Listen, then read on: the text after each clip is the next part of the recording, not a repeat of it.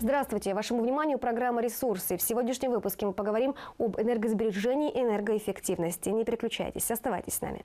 Более 20 миллионов долларов выделит Всемирный банк для оказания поддержки Казахстану в реализацию проектов по энергосбережению и повышению энергоэффективности. К такой договоренности стороны пришли благодаря осуществлению широкомасштабных мер по развитию энергоотрасли, которые активно ведутся в стране в последние годы. Если быть точным, всего Всемирный банк в качестве гранта выделяет 21,7 миллионов долларов, из которых на инвестирование в повышение энергоэффективности государственных и социально значимых объектов будут выделены 19,7 миллионов долларов. На техническую помощь 4 миллиона долларов. Всего в период с 2014 по 2017 год планируется реализовать 75 проектов по модернизации социально значимых объектов.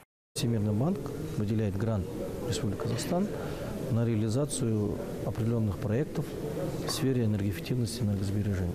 Это, конечно, пилотные проекты будут там больницы, школы, то есть покажется мировой опыт, как надо экономить, как надо эффективно использовать энергоресурсы на бюджетных организациях. Плюс помощь будет в разработке нормативных документов, других э, значит, материалов, правил для реализации э, разных инструментов по энергоэффективности. Важно отметить, региональный директор Всемирного банка по Центральной Азии Сорадж Кумар Джа накануне высказал мнение о том, что Казахстану необходимо активнее привлекать частный сектор в энергоотрасль в рамках программы «Энергоэффективность-2020». С этим, в свою очередь, согласился первый вице-министр профильного ведомства Альберт Рау. Полностью согласен, поскольку у нас э, те сегодня э, законы и нормативы, которые есть, они больше носят характер кнута с пряником, э, имеется в виду э, стимулирование, там, финансовая помощь и так далее, у нас э, как бы проблемы. Поэтому сегодня уже в правительстве находится закон, изменение в закон об энергосбережении энергоэффективности, где законодательно закреплено такое понятие, как энергосервисная компания, о чем как раз и имелось в виду. То есть тогда мы сможем привлечь частный бизнес, которому будет выгодно инвестировать в мероприятия по энергоэффективности, но самое главное, чтобы был законодательно закреплен механизм возврата. То есть сэкономил, а с этой суммой, соответственно, он получил обратно свои деньги.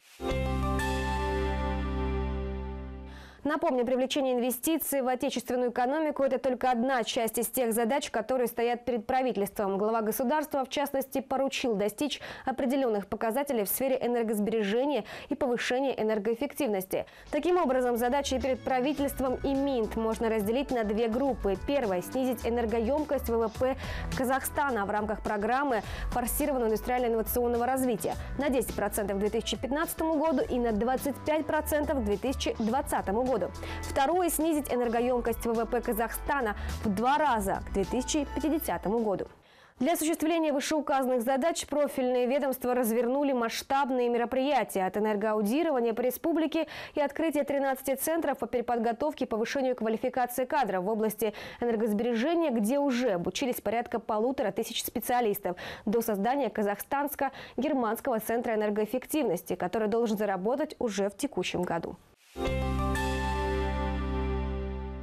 Добавлю, что для реализации поручений главы государства по энергоэффективности, созданный в прошлом году Фонд развития жилищно-коммунального хозяйства, планирует в скором будущем обеспечить всю страну стопроцентной установкой приборами учета тепловой энергии, тогда как сегодня этот показатель достигает лишь 20%. На сегодняшний день а, объявленный уставный капитал составляет 55 миллиардов тенге, и из них в текущем году в качестве оплаты уставного капитала э, из республиканского бюджета выделяется 8 миллиардов тенге. Эти 8 миллиардов тенге предназначены для финансирования такого энергоэффективного а, проекта, проекта, который, на который особое внимание обращает глава государства, это финансирование установки приборов учета тепловой энергии. Как будет работать программа по энергоэффективности, покажет время. Ну а я с вами прощаюсь и напоминаю, что выпуски наших программ вы также можете просмотреть на сайте телеканала 24 КЗ и социальных сетях. Всего доброго и до встречи в эфире.